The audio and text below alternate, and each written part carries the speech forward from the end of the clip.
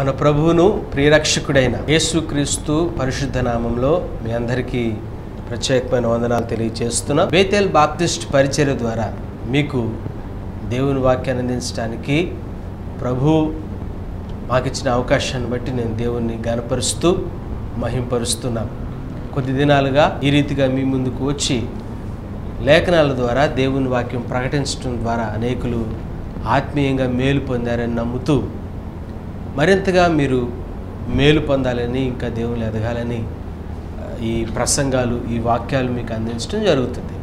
అయితే ఒక విషయం నేను మీకు తెలియచేయాలని ఆశపడుతున్నాను. ఈ కడవరి దినాల్లో ఈ భయంకరమైనటువంటి అంచె దినాల్లో వాక్యం మనకు సమృద్ధిగా లభిస్తూ ఉన్నప్పటికీ వాక్య విషయంలో మనకు ఎంత మాత్రం కొరత లేకపోయినా కూడా చాలామందిలో వాక్యం వినే విషయంలో నిర్లక్ష్యం కనపడుతుంది. వాక్యం పట్ల ఆసక్తి లేని పరిస్థితులు కనిపిస్తున్నాయి. నేను నా వాక్య భాగంలో నేను చెప్పదలిచిన అంశం నేను మీకు తెలియజేసే ముందు ఒక చిన్న సందర్భాన్ని మీకు తెలియజేస్తాను గ్రేట్ బ్రిటన్లో గ్రేట్ బ్రిటన్లో వేల్స్ అనే దేశంలో మేరీ జోన్స్ అనే ఒక చిన్న బాలిక జన్మించింది. దాదాపుగా పదిహేడు వందల ఎనభై నాలుగో సంవత్సరంలో వేల్స్ అనే ప్రాంతంలో ఒక బాలిక జన్మించింది. ఒక క్రైస్తవ కుటుంబంలో జన్మించింది. గొప్ప విషయం ఏంటంటే తన ఎనిమిదవ సంవత్సరంలోనే ఆమె రక్షణ పొందింది. ఆ బిడ్డ జీవితంలో దేవుని వాక్యం పట్ల ఆ బిడ్డకున్న ఆసక్తి ఏంటో మీకు తెలియచేసి నేను ముందుకు వెళ్ళాలని అనుకుంటున్నాను. నేను మీకు చెప్పిన రీతిగా మేరీ జోన్స్ అనే ఆ బాలిక తన ఎనిమిదవ సంవత్సరంలో రక్షణ పొందిన తర్వాత ఆమెకు ఒక కోరిక ఉంది. ఆ కోరిక ఏంటంటే తన సొంత డబ్బుతో సొంత బైబిల్ని కలిగి ఉండాలి కొనుక్కోవాలని ఆసక్తి ఉంది. ఆసక్తిని బట్టి ఒక సేవకుడి దగ్గరికి వెళ్ళి అయ్యా నేను ఇలా ఒక బైబిల్ కొనుక్కోవాలని ఆశపడుతున్నాను. ఆ బైబిల్ కొనుక్కోవడానికి నేను ఆరు సంవత్సరాలు నా దగ్గర ఉన్న డబ్బుని నేను పోగు చేసుకున్నాను సమకూర్చాను. దయచేసి ఈ డబ్బు తీసుకుని మీరు నాకు ఒక బైబిల్ సహాయం చేయమని చెప్పి ఆ వ్యక్తిని అడిగింది. ఆ దైవజనుడు అన్నాడమ్మా నీకు నేను బైబిల్ ఇవ్వడానికి నా దగ్గర బైబిల్ లేదు కానీ నీకు ఒక చిన్న సలహా చెప్తాను అని ఆ పాపతో చెప్పాడంట. ఆయన చెప్పిన మాట ఏంటంటే ఇక్కడ నుంచి నలభై రెండు కిలోమీటర్లు దూరంలో నలభై రెండు కిలోమీటర్ల దూరంలో బాలా అనే ప్రాంతం ఉంది. ఆ ప్రాంతంలో థామస్ చార్ల్స్ అనే సేవకుడు ఉన్నాడు. అక్కడికి నువ్వు వెళ్తే ఆయన దగ్గర చాలా బైబిళ్ళు ఉన్నాయి. ఆయన నీకు ఒక బైబిల్ ఇస్తాడని చెప్పి ఆ దైవజనుడు సలహా ఇచ్చాడు. అయితే ఆశ్చర్యకరమైన విషయం ఏంటంటే నలభై రెండు కిలోమీటర్ల దూరంలో బాలా అనే ప్రాంతానికి వెళ్ళడానికి ఆ రోడ్డు మార్గంలో వాహన సదుపాయాలు లేవు. అయితే ఆ దైవ చెప్పిన రీతిగా ఆ బైబిల్ కొనుక్కోవటం కోసం బాలా అనే ప్రాంతానికి వెళ్ళడానికి నలభై రెండు కిలోమీటర్లు అడవి ప్రాంతంలో ఖాళీ నడకన పదిహేను సంవత్సరాల ఆ బాలిక నడుచుకుంటూ వెళ్ళింది. ఇది నిజంగా ఆశ్చర్యం కదండి. గొప్ప విషయం చెప్తున్నా చూడండి.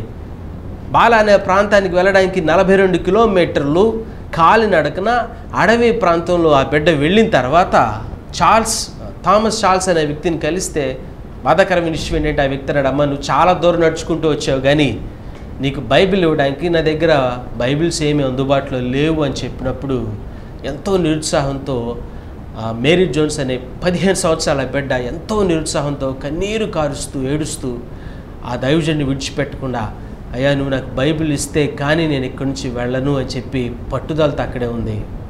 అయితే థామస్ చార్ల్స్ అనే ఆ దైవజన్ యొక్క హృదయం ఎంతో కనికరపడి ఒక బైబిల్ ఏదో ఉంటే ఆ బైబిల్ తీసుకొచ్చి ఆమెకి ఇచ్చాడంట అయితే నలభై రెండు కిలోమీటర్లు అడవి ప్రాంతంలో ప్రయాణం చేసి బాలా బాల అనే ప్రాంతానికి వెళ్ళి ఆ బైబిల్ని సంపాదించుకుని మరలా తిరిగి తన ప్రాంతానికి రావడానికి మరలా నలభై రెండు కిలోమీటర్లు ప్రయాణం చేసి ఎనభై నాలుగు కిలోమీటర్లు దాదాపుగా బైబిల్ కోసం మేరీ జోన్స్ అనే బిడ్డ పదిహేను సంవత్సరాల వయసులో కాలినడకన ప్రయాణం చేసి అయితే దురదృష్టం ఏంటంటే ఆ రోజుల్లో బైబిల్ అందుబాటు లేని ఆ పరిస్థితుల్లో ఆ చిన్న బిడ్డ పదిహేను సంవత్సరాల చిన్న వయసులో అంత ప్రయాసపడి కాలినడకను వెళ్ళి బైబిల్ కొనుక్కుంది.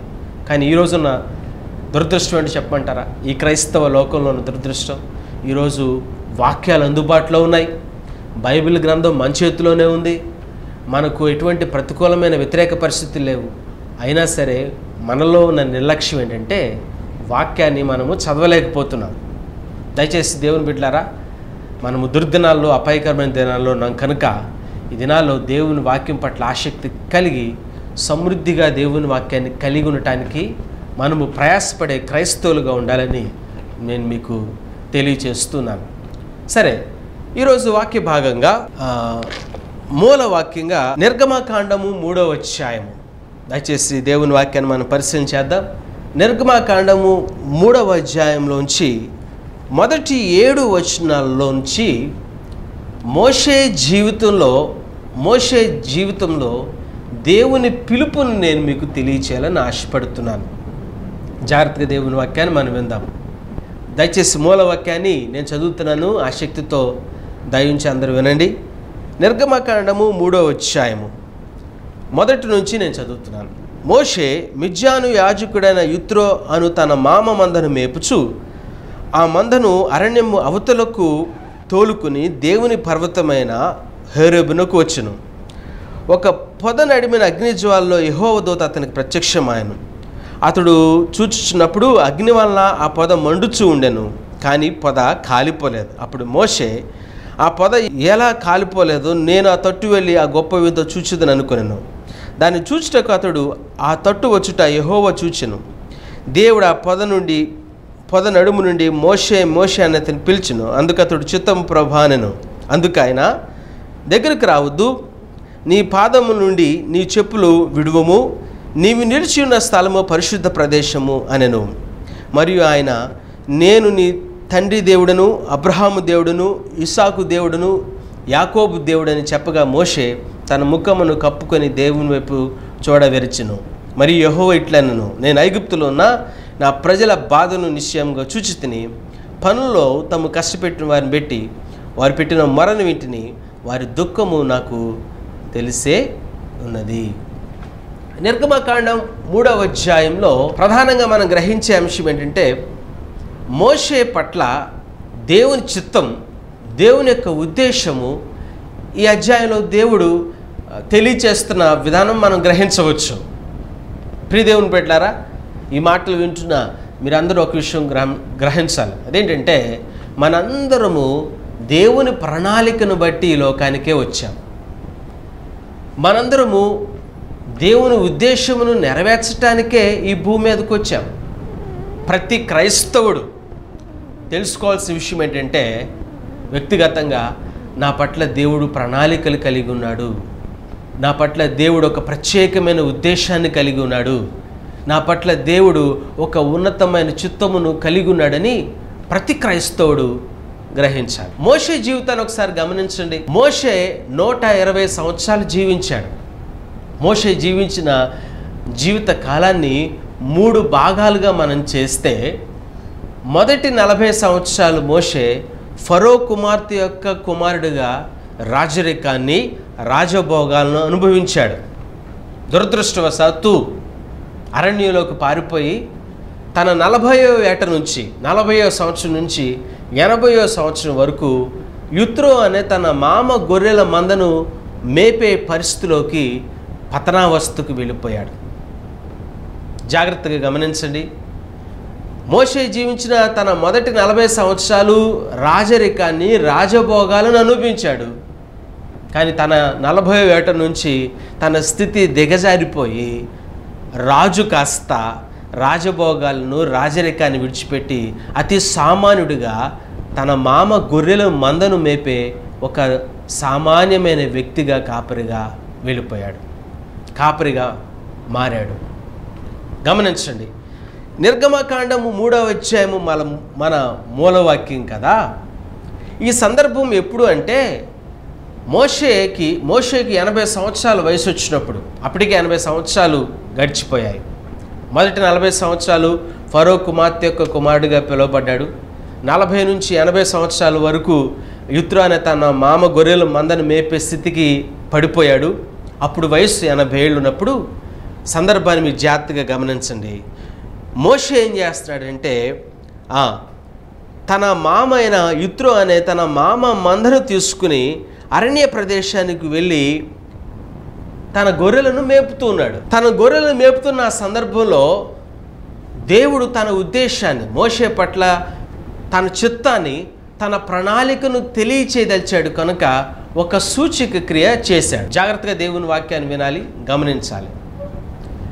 తన యుత్రో అనే తన మామ గొర్రెలను తీసుకుని అరణ్యంలో గొర్రెలు మేపుతున్నటువంటి ఆ పరిస్థితుల్లో ఎటు తోచని దిక్కు తోచని పరిస్థితుల్లో ఎనభై సంవత్సరాలు ఉదుడుగా ఉన్న మోషే గురి గమ్యం లేకుండా ఉన్నప్పుడు అటువంటి భయంకరమైన దీనస్థితిలో ఉన్నప్పుడు ఆ పరిస్థితుల్లో దేవుడు మోషేను దర్శించాడు. ఆ పరిస్థితుల్లో దేవుడు మోషే పట్ల తన ఉద్దేశాన్ని తన చిత్తాన్ని బయలుపరచడానికి ఒక ప్రణాళికలను ఏర్పాటు చేసుకున్నాడు. దేవుడు చేసిన పని ఏంటంటే మోషే గొర్రెల మందను మేపుతున్నప్పుడు దూరంలోంచి ఒక పొదను చూస్తున్నాడు భక్తుడు మోషే ఆ పొదను చూస్తున్నప్పుడు ఆ పొద అగ్ని వలన మండుతూ ఉంది కానీ వింత ఏంటంటే ఆ పొద కాలిపోవట్లేదంట. ఇది చాలా ఆశ్చర్యం కలిగించేసింది మోషకు. ఏంటి ఆశ్చర్యం ఏంటంటే మోషే చూస్తున్న ఆ పద అగ్నితో మండుతూ ఉంది కానీ పొద మాత్రం కాలిపోవటలేదంట. ఏంటి వింత? ఏంటి ఆశ్చర్యమని? ఆ తట్టు వెళ్ళి అటువైపు వెళ్ళి చూద్దామని చెప్పి రెండు అడుగులు వేసేసరికి ఆ పదంలో నుంచి దేవుని స్వరం వినపడుతుంది. దేవుడు మాట్లాడుతున్నాడు. ఏమని మాట్లాడుతున్నాడు తెలుసా? మోషే మోషే అని దేవుడు పిలుస్తున్నాడు. ఇంకా దేవుడు ఏమన్నా అంటే మోషే నీవు నిలుచున్న స్థలము పరిశుద్ధమైన స్థలము కనుక నీ కాళ్ళ జోళ్ళు అనగా నీ చెప్పులు విడిచిపెట్టి నిలబడని చెప్పినప్పుడు మోషే చంద్ చెప్పులు విడిచిపెట్టాక నిలబడ్డాడు. అయితే ఈరోజు నేను చెప్పే అంశం ఏంటంటే నా అంశం నేను మీకు ముందుగా తెలియజేశాను. మోషే జీవితంలో దేవుని ప్రణాళిక మోషే జీవితంలో దేవుని పిలుపు అది ఎలా ఉందో నేను మీకు చెప్పాలని ఆశపడుతున్నాను. దేవుడు మోషేను పరిచర్యకు పిలిచినప్పుడు మోషే పరిస్థితి ఎలా ఉందో ఒక్కసారి మనం జ్ఞాపకం చేసుకుంటే దయచేసి మొదటి వచనాన్ని మనం చూద్దాం. నిర్గమకాండం మూడో అధ్యాయం మొదటి వచనం. మోషే మిజాను యాజకుడైన యుత్రో అనే తన మామ మందను మేపుతూ ఆ మందను అరణ్యముకు అవతలకు తోలుకుని దేవుని పర్వతమైన హేరుబుకు వచ్చును. ఒక పొద నడిమిని అగ్నిజ్వాల్లో యహోవ దూత అతనికి ప్రత్యక్షమాయను. అతడు చూచినప్పుడు అగ్ని వలన ఆ పొద మండుచూ ఉండెను కానీ పొద కాలిపోలేదు. నేను ఇందాక మీకు తెలియచేసిన రీతిగా మోసే చూస్తున్న ఆ దృశ్యంలో ఆ పొద అగ్ని చేత మండుచూ ఉంది కానీ కాలిపోలేదండి దేవుడు ఎంత గొప్పవాడో తన మహిమను తన ఘనతను తెలియచేయడానికి దేవుడు ఒక సూచిక క్రియ చేశాడు. ఏంటి ఆ సూచిక్రియ అంటే మోషు మోషే చూస్తున్న ఆ పద అగ్నితో మండుతుంది కానీ పద మాత్రం కాలిపోవట్లేదంట. ఇది నిజంగా ఆశ్చర్యమే కదా? దేవుడు ఏ వ్యక్తినైనా పిలిచినప్పుడు ముందు ఒక సూచిక్రియ చేస్తాడు. దేవుడు ఎందుకు సూచిక్రియ చేస్తాడంటే ఆయన ఎంత గొప్పవాడో తెలియచేయడానికి ఆయన మహిమ ప్రభావములు ఎంత గొప్పవో తెలియచేయడానికి దేవుడు ప్రతి వ్యక్తి జీవితంలో ఒక సూచక క్రియ చేస్తాడు. ఒక అద్భుతము చేస్తాడు. ఒక గొప్ప కార్యము చేస్తాడు. అలాగే మోషే జీవితంలో కూడా ఒక గొప్ప కార్యం చేశాడు. ఒక సూచక్రియ చేశాడు. ఆయన కన్నులకు మోషే కన్నులకు ఆ సూచక్రియ ఏంటంటే ఏంటంటే పద మండుతుంది కానీ పద కాలిపోలేదు. ఈ ఆశ్చర్యాన్ని బట్టే దేవుడు తన మహిమను తన ఘనతను మోషేకు తెలియచేశాడు. అయితే ఈరోజు ఈ వాక్య భాగంలో దేవుడు మోషేని పిలుస్తున్నప్పుడు మోషే జీవితంలో దేవుని పిలుపు అనేది మన ప్రధానమైన అంశంగా నేను మీకు తెలియచేశాను కదా?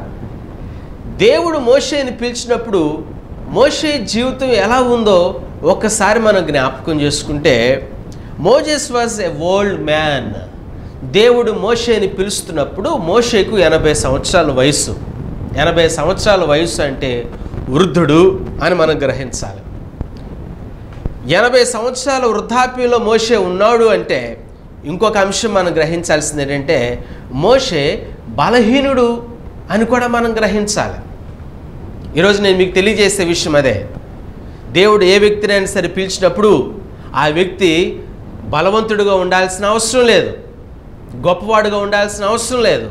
అతడు బలహీనమైనా సరే దేవుడు బలహీనమైన పాత్రను కూడా వాడుకోగలడు అనే ఆత్మీయ సత్యం మనకు కనిపిస్తుంది. ఎందుకంటే నిర్గమకాండం మూడో అధ్యాయంలో అప్పటికే మోసే వయస్సు ఎనభై సంవత్సరాలు. మీరు తెలుసుకోవాల్సిన ఆత్మీయ పాఠం ఏంటంటే ఇరవై సంవత్సరాలు ఉన్నప్పుడు దేవుడు మోషని పిలవలేదు. నలభై సంవత్సరాల వయసులో యవన ప్రాయాలు ఉన్నప్పుడు దేవుడు మోషని పిలవలేదు. కానీ వృద్ధాప్యంలోకి వచ్చినప్పుడు తన ఎనభయో ఏట దేవుడు తన పట్ల అనగా మోషే పట్ల తన ఉద్దేశాన్ని తెలియచేస్తున్నాడు. తన చిత్తాన్ని తెలియచేస్తున్నాడు. ఇంతకు దేవుని యొక్క ఉద్దేశం ఏంటంటే అప్పటికే దేవుని ప్రజలు ఇజ్రాయెల్ ప్రజలు ఐగుప్తు దేశంలో నాలుగు వందల ముప్పై సంవత్సరాలు కఠినమైన బానిసత్వాన్ని అనిపిస్తున్నారు ఫరో అధికారం కింద ఫరో సైన్యం కింద దేవుని ప్రజలు నాలుగు వందల ముప్పై సంవత్సరాలు కఠినమైన బానిసలుగా జీవిస్తున్నప్పుడు దేవుడు వారిని విడిపించడానికి మోషేను ఫరో ఎదుట తీసుకుని పోబోతున్నాడు. ఇజ్రాయెల్ ప్రజలను నడిపించడానికి భయంకరమైన శాపగ్రస్తమైన ఐగుప్తు దేశం నుండి పాలు తేలు ప్రవహించు కానాను దేశానికి నడిపించడానికి దేవుడు మోషేని నాయకుడిగా పిలుస్తున్నాడు. అదే దేవుని యొక్క పిలుపు. అలా పిలవడానికే దేవుడు నిర్గమాకాండ మూడవ అధ్యాయంలో దేవుడు మోషేకు తన ప్రత్యక్షతను తన దర్శనాన్ని చూపిస్తున్నాడు. అయితే నా వాక్య భాగంలో ప్రాముఖ్యంగా నేను మీకు తెలిపే ఆత్మీయ పా పాఠాల్లో ఒకటి నేను ముందుగానే తెలియచేస్తాను. ఏంటి ఆత్మీయ పాఠం ఏంటంటే దేవుడు పిలిచిన తన దాసుడైన మోషే బలవంతుడు కాడు. ఎంతో బలహీనుడు. ఎంత బలహీనుడు అంటే ఎనభై సంవత్సరాల వృద్ధుడు. గమనించండి. ప్రిల్లరా యవన ప్రాయానికి వృద్ధాప్యానికి ఎంత వ్యత్యాసం ఉందో? యవన ప్రాయంలో జుట్టు నల్లగా నిగనగలాడుతూ ఉంటుంది. వృద్ధాప్యంలోకి వస్తే ఉన్న జుట్టు ఊడిపోతుంది. యవన ప్రాయంలో పళ్ళు ఉంటాయి వృద్ధాప్యంలోకి వస్తే పళ్ళు ఊడిపోతాయి. యవన ప్రాయంలో ఈ శరీరం చక్కగా బలంగా అందంగా ఉంటుంది. వృద్ధాప్యంలోకి వస్తే అందం ఉండదు. యవన ప్రాయంలో కాళ్ళు చాలా బలంగా ఉంటాయి. కానీ వృద్ధాప్యంలోకి వస్తే చేతికి చేతికర సహాయం లేకపోతే ఏ వ్యక్తి ముందుకు వెళ్ళలేడు ఏ వృద్ధుడు ముందుకు నడవలేడు. ఇది లోకం యొక్క తీరు. కానీ దేవునిలో ఉన్న గొప్పతనం ఏంటో ప్రియులారా చెప్పమంటారా? మోషే ఎనభై సంవత్సరాలు వృద్ధుడైనప్పటికీ బలహీనుడుగా ఉన్నప్పటికీ దేవుడు తన పరిచయ నిమిత్తము బలహీనుడుగా ఉన్న మోషేని దేవుడు ఏర్పాటు చేసుకున్నాడు. ప్రియులారా మీరు దేవుని ప్రణాళికలో ఉంటే మీరు దేవుని చిత్తంలో ఉంటే మీరు బలహీనులు కావచ్చు. కానీ బలవంతుడైన దేవుడు మీకు తోడుగా ఉంటే దేవుడు మీ పక్షాన గొప్ప కార్యాలు తప్పక చేస్తాడు. అద్భుత కార్యాలు తప్పక చేస్తాడు. దేవుడు తప్పక తన పరిచయలో మీరు బలహీనులుగా ఉన్న దేవుడు మిమ్మల్ని కూడా వాడుకుంటాడు అనే ఆత్మీయ సత్యం మోషే జీవితంలో మనకు తెలుస్తుంది. సో దేవుడు పిలుస్తున్నప్పుడు మోషే ఎంతో బలహీనుడుగా ఉన్నాడు. కానీ బలహీనుడైన మోషేని దేవుడు తన పరిచయ కోసం పిలుచుకున్నాడు. రెండోది మోషే ఎలా ఉన్నాడు? Moses was not in a great position మొదటిగా దేవుడు మోషేని పిలిచినప్పుడు మోషే బలవంతుడుగా లేడు బలహీనుడుగా ఉన్నాడు ఎనభై సంవత్సరాల వృద్ధుడు అని మీకు తెలియచేశాను. రెండవదిగా మోషేని దేవుడు పిలిచినప్పుడు మోషే గొప్ప స్థితిలో ఏమీ లేడు. ఉన్నత స్థితిలో ఏమీ లేడు. ఇన్ఫ్యాక్ట్ దేవుడు పిలిచినప్పుడు దేవుడు గొప్పవారిని పిలవడు ఖచ్చితంగా. గొప్ప స్థానంలో ఉన్నవారిని పిలవడు ధనవంతుల్ని పిలవడు అగ్రకులస్తులుగా విరవిగుతున్న వారిని దేవుడు పిలడు. దేవుడు ఎప్పుడు కూడా తక్కువ స్థాయిలో ఉన్న వారినే దేవుడు తన పరిచయకు పిలుస్తాడనేది మనం తెలుసుకోవాలి. మోషే ఎందుకు తక్కువ స్థితిలో ఉన్నాడని నేను చెప్పాను? మొదటి నలభై సంవత్సరాలు ఫరో కుమార్తె యొక్క కుమారుడిగా రాజభోగాల్ని అనుభవిస్తూ రాజరికంలో ఉన్నప్పుడు దేవుడు మోషేని పిలవలేదు. ఎప్పుడు పిలిచాడు తెలుసా? రాజరికాన్ని విడిచిపెట్టి రాజభోగాలను విడిచిపెట్టి దిక్కు తోచని స్థితిలో ప్రాణ భయంతో అరణ్యంలోకి పారిపోయి గొర్రెలు కాచుకునే స్థితిలోకి దిగజారిపోయినప్పుడు పడిపోయినప్పుడు ఎటూ తోచని పరిస్థితుల్లో ఏ పొజిషన్ లేని ఏ స్థితి లేని కేవలం గొర్రెలు కాచుకునే ఒక దీన స్థితిలో ఉన్న మోషన్ని దేవుడు పిలుచుకున్నాడు. నేను మీకు చెప్పే ఆత్మీయ పాఠం ప్రియులార ఒకటే. అదేంటంటే దేవుడు తన పరిచర్య కోసం మిమ్మల్ని పిలవాలనుకుంటే మీరు ధనవంతులుగా ఉండాల్సిన అవసరం లేదు. మీరు మీరు గొప్పవారుగా ఉండాల్సిన అవసరం లేదు. మీరు గనులుగా ఉండవలసిన అవసరం లేదు.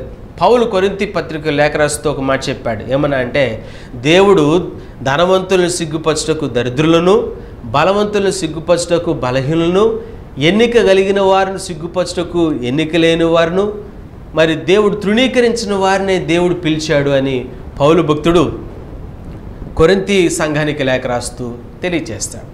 ఈ మాటలు వింటున్న దేవుని బిడ్డలారా మీరు బలహీనులుగా ఉన్నా సరే లేక మీరు ఉన్నతమైన స్థానంలో లేకపోయినా సరే పర్వాలేదు.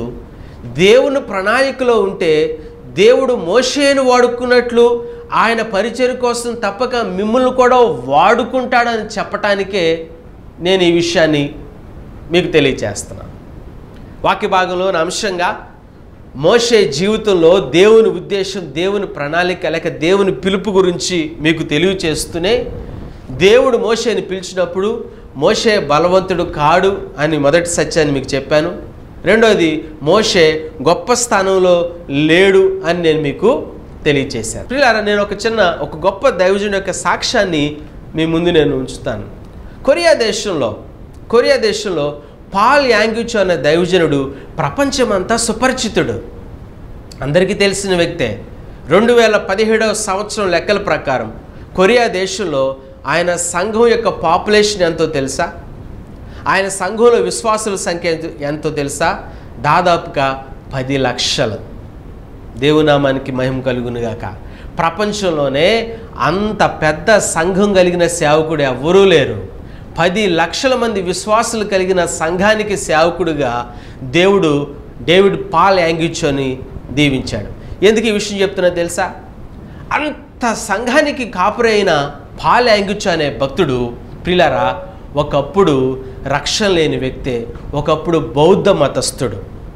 బౌద్ధ మతస్థుడు. కనీసం క్రైస్తవుడు కూడా కాదు. కానీ తనకున్న బలహీనతను బట్టి తనకున్న అనారోగ్యాన్ని బట్టి డాక్టర్స్ చెప్పారు నువ్వు ఇంకా ఆరు నెలలు మాత్రమే బ్రతుకుతావని. తనకు క్షయవ్యాధి ఉంది. రక్తం కక్కుతూ ఉండేవాడు. ఆరు నెలలే బ్రతకవలసిన ఆ వ్యక్తిని దేవుడు స్వస్థపరిచాడు. ఒక చిన్న బిడ్డ ఒక చిన్న బైబిల్ ఇస్తే ఆ బైబిల్ తీసుకుని ప్రభువుని తెలుసుకుని ప్రభు రక్షకుడని తెలుసుకుని పాల యాంగిచ్చో ప్రభు స్వస్థపరుస్తాడని ప్రభువుని విశ్వసించి రక్షణ పొందాడు ప్రభు స్వస్థపరిచారు. గొప్ప విషయం ఏంటో చెప్పంటారు ఇలారా ఆరు నెలలు మాత్రమే నువ్వు బతుకుతావని డాక్టర్లు చెప్పారు. కానీ ఎనభై సంవత్సరాల వరకు ఏ వ్యాధి లేకుండా ఏ బలహీనత లేకుండా సంపూర్ణమైన స్వస్థతతో గొప్ప పరిచర్య చేశాడు. పది లక్షల మంది విశ్వాసులు గల సంఘానికి కాపరిగా పాలయాంగుచో దీవించబడ్డాడు. ప్రిలార నువ్వు ఏ పరిస్థితిలో ఉన్నా ఏ స్థితిలో ఉన్నా దేవుడు నిన్ను వాడుకుంటాడు. ఇంకో మాట కూడా చెప్తాను. మూడోది మోషేని దేవుడు పిలిచినప్పుడు మోషే మాట నేర్పని కాదు నోటి మాంజ్యం కలిగిన వాడు. నిర్గమకాండం నాలుగో అధ్యాయం మనం చూస్తే పదో వచ్చిన చూడండి. అప్పుడు మోషే ప్రభా ఇంతకు మునిపోయినను నీవు నీవు నీ దాసునితో మాట్లాడినప్పటి నుంచి ఎవరైనా నేను మాట నేర్పరని కాను నేను నోటి మాధ్యము నాలుక మాధ్యము కలవాడని హోవాత చెప్తున్నాడు. దేవుడు తన్నాడయ్యా నీవు నన్ను పరిచయకు వెళ్ళమంటున్నావు. ఇజ్రాయిల్ ప్రజల యొద్దకు వెళ్ళమంటున్నావు. ఫరోని ఎదిరించమంటున్నావు. ఫరో సైన్యంతో పోరాడమంటున్నావు. లక్షలాది మంది ఇజ్రాయెల్ ప్రజలను విడిపించడానికి నన్ను నాయకుడిగా నువ్వు అభిషేకించి నడిపిస్తానంటున్నావు. కానీ అయ్యా మోషే అంటున్నాడు నేను నోటి మాంజం కలిగిన వాడను నేర్పరని కాదు మాట నేర్పరని కాదు అంటున్నాడు. ప్రిలారా మూడు విషయాలు మీకు తెలియజేసే కదా. ఇజ్రాయేల్ ప్రజలను ఐగుప్తు దేశంలోంచి నడిపించడానికి భయంకరమైన సంఖ్యల నుంచి విడిపించడానికి మోషేని పంపించినప్పుడు మోషే వృద్ధుడు అంటే బలహీనుడు బలహీనుడు అన్న మాట చెప్పాను. రెండోది మోషే ఉన్నత స్థానంలో ఏమీ లేడు గ్రేట్ పొజిషన్ లేడు కేవలం గొర్రెలు కాసుకునేవాడుగా ఉన్నాడని చెప్పాను. మూడోదిగా తలాంతులేమీ లేవు. మోషేకున్న బలహీనత ఏంటంటే అతడు నోటి మాంజము కలిగిన వాడు నోటి మాంజము అంటే నత్తోడు. మోషేని అంటున్నాడు ప్రభా అంత గొప్ప రాజు యొద్దకు వెళ్ళి రాజుతో నువ్వు సవాల్ చేయమంటున్నావు కానీ కనీసం మాట్లాడడానికి కూడా శక్తి లేని నోటి మాంజము కలిగిన వాడను మాట నేర్పరి కానిటువంటి వాడను నేను అటువంటి వ్యక్తి నేను ఎలా వెళ్తానని చెప్పి మోషే అన్నప్పుడు దేవుడు అన్నాడు నేను నీకు తోడే ఉంటానని చెప్పాడు. ప్రిలరా దేవుడు తోడుగా ఉన్నాడు కనుక మోషేకు తోడుగా ఉన్నాడు కనుక మోషే ఎనభై సంవత్సరాలు బలహీనుడైన దేవుడు బలపరిచాడు. మోషే ఉన్నత స్థానంలో లేకపోయినా కేవలం గొర్రెలు కాచుకుంటున్న వ్యక్తి అయినా దేవుడు మోషేకి తోడుగున్నాడు కాబట్టి మోషేను నడిపించాడు. మోషే నేర్పరి కాకపోయినా తలంతు లేకపోయినా కేవలము నోటి మాంజము నత్తివాడై మాట నేర్పర లేనివాడైనప్పటికీ కూడా దేవుని మోసే నోటికి దేవుడు తోడుగా ఉన్నాడు కనుక మోషే ఏం చేయగలిగాడో తెలుసా? కొన్ని లక్షలాది మంది తన దేవుని ప్రజలను ఐగుప్తు దేశంలోంచి నడిపించాడు. పాలు తేలు ప్రవహించే కానానికి దేవుడు నడిపించాడు. ప్రియులారా ఒక విషయం నేను ముగింపుగా చెప్తున్నాను ఐగుప్తు దేశము ఐగుప్తు దేశము లోకానికి సాదృశ్యంగా ఉంది. ఐగుప్తు దేశంలో ఉన్న ఇజ్రాయెల్ ప్రజలు ఎవరైతే ఉన్నారో వారు దేవుని ప్రజలు. ఐగుప్తు దేశము భూమికి లోకానికి సాదృశ్యంగా ఉన్నప్పుడు నేను మీకు చెప్పే విషయం ఏంటంటే ఈ భయంకరమైన లోకంలో ఈ పాపంలో ప్రజలు జీవిస్తున్నారు. ఏ రీతిగా అయితే ఐగుప్తు దేశంలో ఇజ్రాయెల్ ప్రజలు ఉన్నారో అలాగే. దేవుడు తన ప్రజలను భయంకరమైన ఆ లోకంలోంచి లోకపు సంఖ్యల నుంచి పాపంలోంచి విడిపించి ఇజ్రాయేల్ ప్రజలను కానాను దేశానికి ఎలా నడిపించదలిచాడో మనందరిని పరలోకానికి నడిపించాలని ప్రభు ఆశపడుతున్నాడు. అలా నడిపించడానికి దేవునికి దేవుని ప్రజల మధ్య ప్రజలకు మధ్య ఉన్న మధ్యవర్తే దేవుని సేవకుడు. ఐగుప్తు దేశంలో ఉన్న తన ప్రజలను విడిపించడానికి దేవుడు తనకిష్టమైనటువంటి పాలు అనే దేశానికి తన ప్రజలు నడిపించడానికి దేవునికి ఇజ్రాయెల్ ప్రజల మధ్య ఉన్న వ్యక్తే మోషే. ఆ మోషేని దేవుడు నాయకుడిగా ఏర్పాటు చేసుకున్నాడు. ఆ నాయకుడును దేవుడు వాడుకున్నాడు. మోషే బలహీనుడుగా ఉన్న మోషే నోటి మాంజ్యం కలిగిన నత్తివాడుగా ఉన్న మోషే కేవలం గొర్రెలు కాచుకుంటున్న కాపరిగా అంటే ఏ స్థానం ఏ స్థితి లేనివాడుగా ఉన్న అత్యంత బలహీనుడైన మోషని దేవుడు వాడుకున్నాడు.